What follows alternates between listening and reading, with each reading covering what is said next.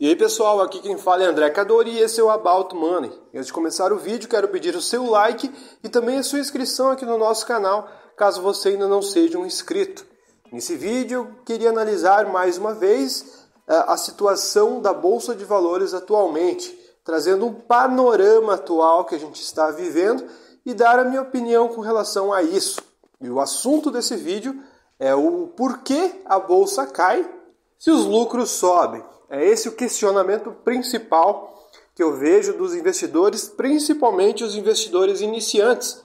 Eles começam a investir na bolsa e eles fazem uma associação.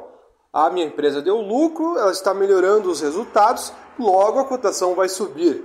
É uma, é uma, é uma consideração bastante lógica, só que no curto prazo essa lógica não vale de nada, porque no curto prazo as narrativas de mercado é que importam e no longo prazo, de fato, os resultados. Por quê? Os resultados são aquilo que vai manter a empresa de pé, aumentar o patrimônio da empresa, aumentar a distribuição de dividendos. Esse é o principal fator. Esse é o fator que vai fazer as empresas ficarem de pé durante momentos de dificuldade macroeconômica. Porém, quando a dificuldade macroeconômica é tão exagerada como a atual, tanto faz os resultados. A empresa que você investe pode dar um resultado fenomenal e a cotação cair 10, 8%. E quando a situação fiscal e econômica do Brasil vai bem, lembrando, vai bem não é para o povo, para as pessoas, é vai bem para o mercado. Quando as coisas estiverem indo bem aos olhos do mercado, não importa, a empresa pode dar até prejuízo que a cotação vai subir no curto prazo. O que faz a gente se atentar e se preocupar nos resultados é o seguinte: o fato da empresa ficar de pé. Portanto, se uma empresa não tiver resultados e tiver constantes prejuízos ah, e o momento de dificuldade durar mais tempo, a macroeconomia destruirá essas empresas. Portanto, analisar resultados são importantes para a gente escolher as melhores empresas que vão ficar de pé depois que a crise passar. É, são todas estratégias baseadas em ciclos. No ciclo negativo, você tem que é, buscar boas empresas e fazer boas compras. E nos ciclos positivos, você tem que saber a melhor empresa para ficar posicionado no longo prazo e qual empresa vender e colocar o lucro no bolso. Portanto, você tem que sempre fazer essas análises com base na situação da empresa e olhando também a parte macroeconômica. E nesse vídeo eu quero falar exatamente sobre isso. Eu vou trazer cinco pontos para você parar de se preocupar com os preços de mercado. O primeiro ponto que deve ser atentado para você não se preocupar com o preço é que o preço não quer dizer absolutamente nada. Por mais que as pessoas associem preço alto empresa boa, e isso não quer dizer muita coisa, porque existe muita especulação nas empresas. E existe a competição de investimento no setor produtivo e em renda fixa. Portanto, se a renda fixa estiver muito atrativa, é, a situação vai ficar complicada para os ativos de risco, mesmo que as empresas estejam indo bem. Portanto, no comparativo, não vai adiantar absolutamente nada você é, é, estar posicionado numa empresa boa ou ruim, que a tendência é que tudo meio que piore. Portanto, o preço não quer dizer absolutamente nada. Essa associação de preço alto empresa boa é mito. Ele só é real no longo prazo, aonde a gente olha gráficos, é, digamos, um leque de 10, 20 anos, aí a gente consegue ver quais as empresas se saíram bem, tiveram mais lucro e a gente vê que o, a cotação de fato acaba acompanhando o lucro. Mas no curto prazo é, não adianta nada você ficar se preocupando com o preço.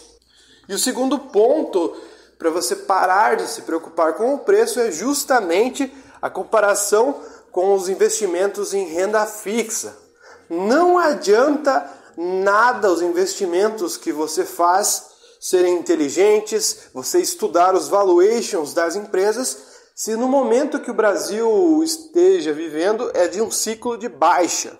Em ciclos de baixa, a bolsa simplesmente só cai.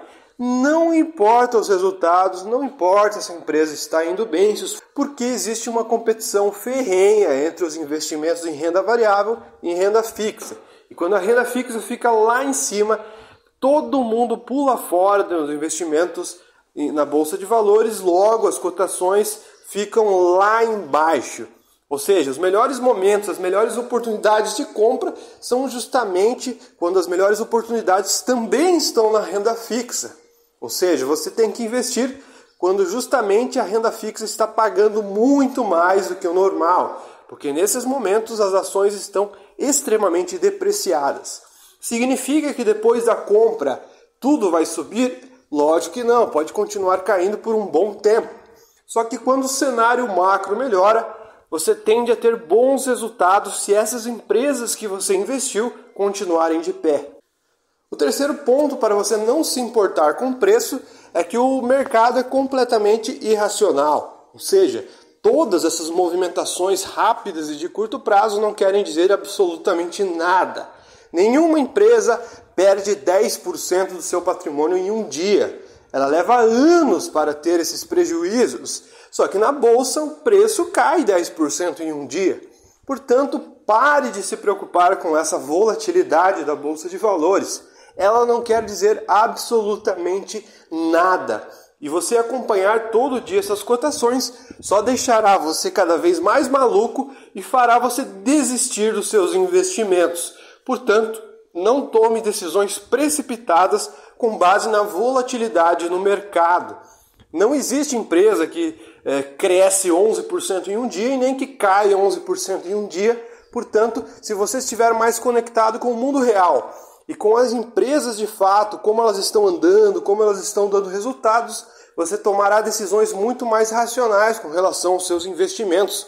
Portanto, quanto mais longe você ficar do mercado e das cotações, e depois de muitos anos você começará a ver resultados significativos caso você tenha feito boas escolhas e escolhido boas empresas. Isso é a realidade para todos os investidores mais experientes de longo prazo. Eles dificilmente sabem como está se comportando seus investimentos. Aqueles que têm grandes fundos, como o caso de Luiz Alves Paes de Barros, eu já vi alguns vídeos que ele falou que nem sequer acompanha a sua cota.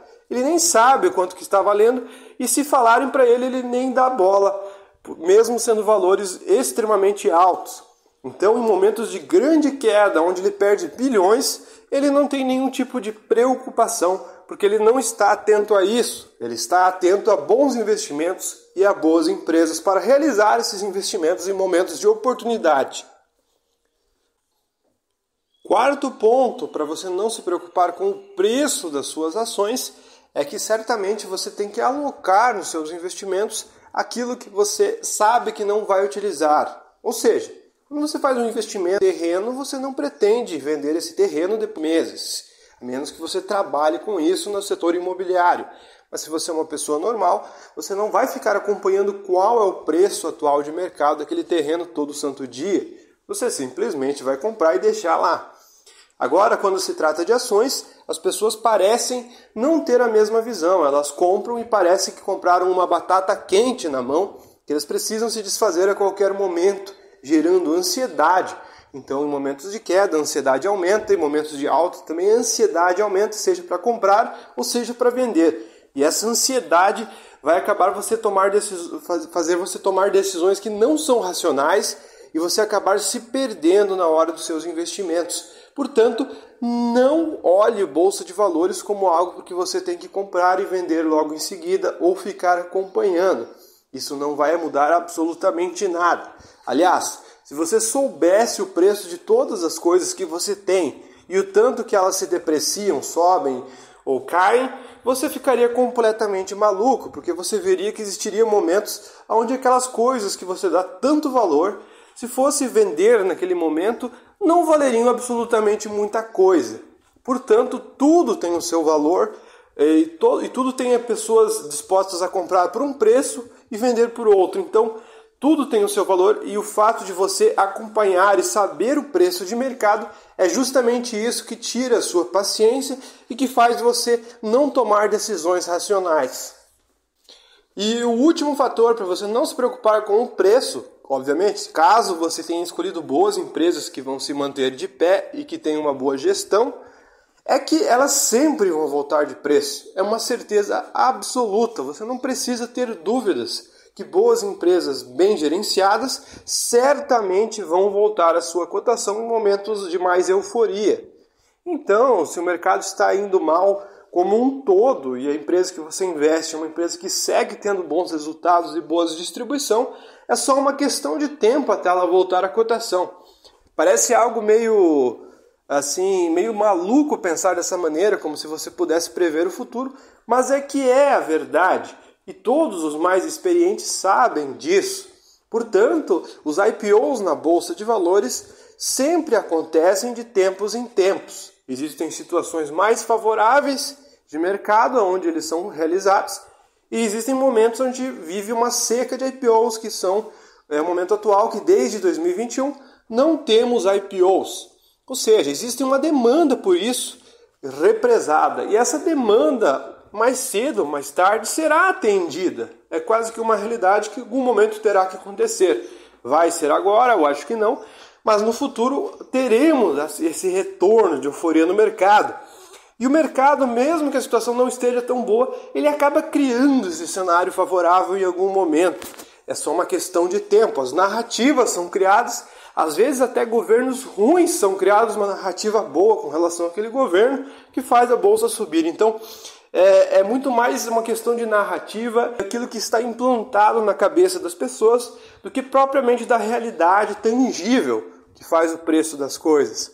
Portanto, é justamente por isso que a gente vê empresas indo bem com preços lá embaixo, e empresas indo mal em outros momentos com preços lá em cima.